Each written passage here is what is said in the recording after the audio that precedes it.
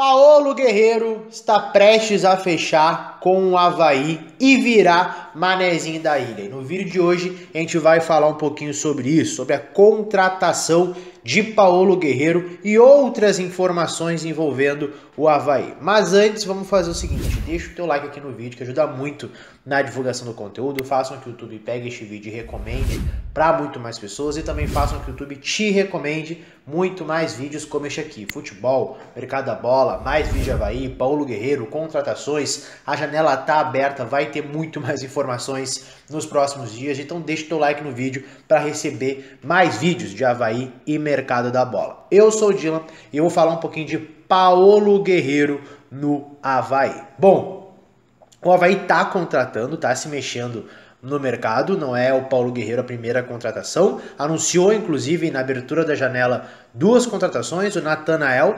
ex-internacional, ex-Atlético Goianiense, ex-Cuiabá, ex-Atlético Paranaense, que passou um tempo na Bulgária, foi anunciado como novo lateral esquerdo do time, 31 anos de idade.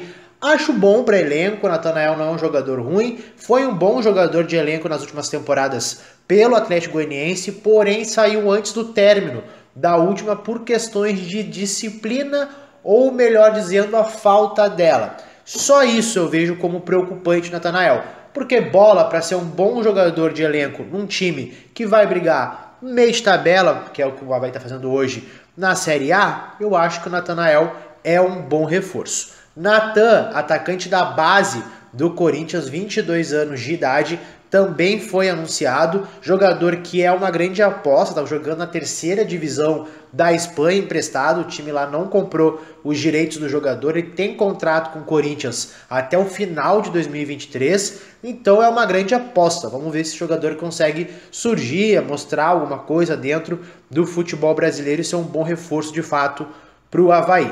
Paulo Guerreiro ex-internacional, fazendo exames, no momento que eu gravo o vídeo já foi aprovado, já tem uma boa ideia o Havaí de alguns exames do jogador e deve continuar nesse ritmo e ser anunciado como o novo camisa 9, o novo centroavante do Havaí. O Guerreiro, que é o maior ah, artilheiro estrangeiro do brasileiro de pontos corridos, é também o maior artilheiro da história da seleção peruana e está com 38 anos de idade. A grande questão com o Guerreiro é a parte física. Se ele vai conseguir entregar em alto nível, com 38 anos de idade, e também a questão das lesões, né? Sofreu uma lesão séria há pouco tempo no Internacional e por ser um jogador já com uma idade elevada, isso é preocupante, né? Muitos jogadores têm dificuldade para recuperar a parte física e mesmo a questão de confiança e tudo mais.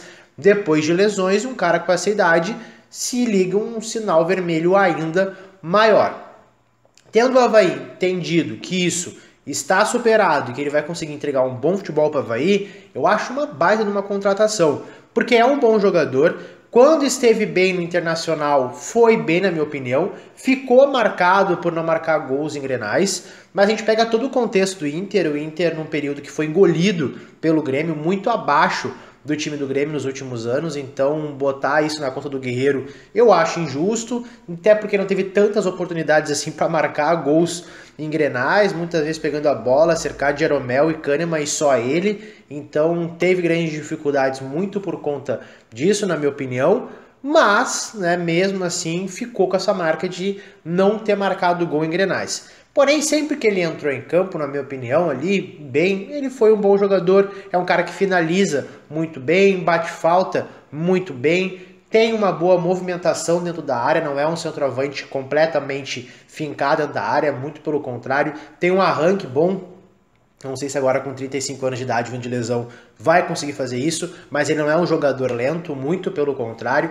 Ele tem um arranque para finalizar muito bom. Ele é um jogador que tem uma boa visão de jogo também, vira e mexe. Ele consegue achar seus companheiros no ataque, consegue dar assistências. Então eu acho uma boa contratação no todo para Havaí. Acho que é um jogador que tem muito potencial para agregar daqui para o final da temporada. Eu acho que ele pode ser um bom jogador mesmo para o time do Havaí para a sequência da temporada, porque é uma grande grife. Além disso, é bom para o Havaí, porque o Guerreiro é um dos maiores nomes da história do esporte peruano, então sempre que ele vai para um time chama muita atenção, tem muito peruano olhando, isso é bom para a marca do clube em questão continental, na questão sul-americana, querendo ou não, e é um jogador que tem da qualidade para render um bom futebol, né? Tendo o Havaí como seu primeiro objetivo ficar na Série A e tá indo bem na busca por esse objetivo, contratando o Paulo Guerreiro, pode, quem sabe, conseguir uma vaga em Sul-Americana, que é possível ficando na Série A, e aí, quem sabe, com o Paulo Guerreiro jogar Sul-Americana e tudo mais. Acho uma boa contratação e que dá para tirar algumas coisas ainda bem positivas desse jogador. Mas enfim, comenta aqui embaixo o que vocês acham. Gostaram da contratação de Paulo Guerreiro? É um bom centroavante para o Havaí? As outras contratações também gostaram ou não? Comenta aqui embaixo. Muito obrigado por ter assistido esse vídeo. Até o próximo. Um salve e tchau, tchau.